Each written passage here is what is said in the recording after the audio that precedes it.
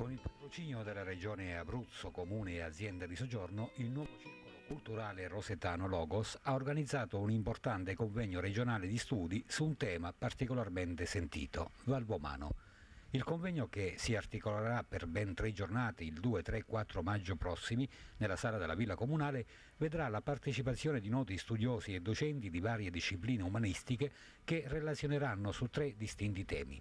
Aspetti e dimensioni d'Abruzzo, storia e cultura in Abruzzo tra l'Ottocento e il Novecento, arte e folklore della regione.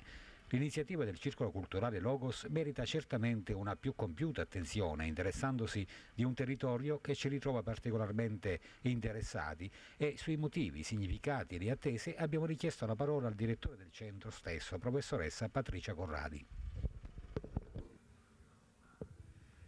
Ehm, l'iniziativa del Circolo Culturale Logos ha diversi scopi, in parte legati alla cultura del territorio, in parte legate agli stessi scopi, no? agli stessi intenti del circolo.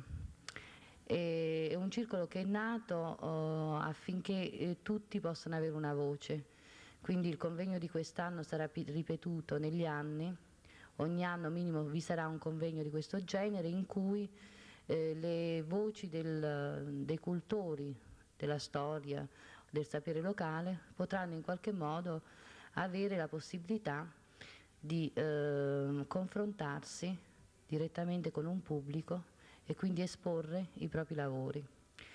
Eh, è ovvio che mh, mm, di solito questi studiosi spesso e volentieri si rinchiudono nelle proprie case oppure in ambiti ristretti e alle volte delle, mm, sembra che eh, non vi sia in effetti un'attività culturale. Io ho potuto notare che a Roseto vi è molta attività culturale, però un'attività che si restringe a circoli, eh, non a circoli, a gruppi possiamo dire, no? a gruppi locali. Per cui eh, la maggior parte eh, dei rosetani non sa che in effetti Roseto ha molta cultura, ha molta gente che si occupa di diversi branchi del sapere, che vanno dalla storia alla grottologia, alla filosofia, quindi una città ricca, ricca anche di personalità di relativo spicco, dico relativo per, per modestia, ecco. Quindi eh, questo è il primo scopo. È ovvio che eh, non abbiamo voluto ghettizzare eh, questa iniziativa a un livello esclusivamente locale e territoriale e abbiamo voluto dare una maggiore ampiezza al convegno facendo intervenire ovviamente docenti universitari eh, per lo più da università abruzzesi. Quindi eh, si parlerà del nostro territorio, si parleranno delle nostre origini e dal punto di vista dell'arte e dal punto di vista storico e si parlerà anche molto dell'Abruzzo. Vuole essere una rivalutazione ovviamente questo convegno dell'Abruzzo, della sua storia, delle sue origini, delle sue tradizioni, perché ne ha moltissime. Ehm, L'Abruzzo ha dato molto alla cultura, e, eh, però oh, purtroppo oh, spesso e volentieri non si è mai in, eh, inserita in grandi canali eh, per cui questa cultura eh, si è un po' eh, rinchiusa e, e, ha prodotto solo a livello provinciale quindi noi vogliamo oh, portarla alla luce portare alla luce tutto ciò che in effetti è eh, nel nostro territorio in particolare ovviamente nella Valvomano questo convegno sorge a Roseto e si intitola appunto eh, Convegno Valvomano.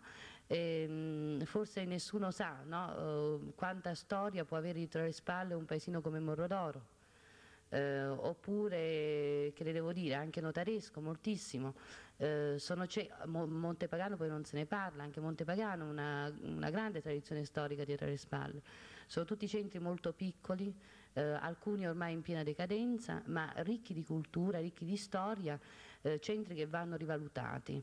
Eh, il nostro scopo parte dalla cultura, ma vuole anche essere uno stimolo affinché eh, da, questa, eh, da, da quest'ambito strettamente culturale eh, si dia un pungolo a chi di dovere affinché vengano rivalutate certe zone bellissime, ehm, ehm, ricche di tante cose, eh, degne di essere conosciute.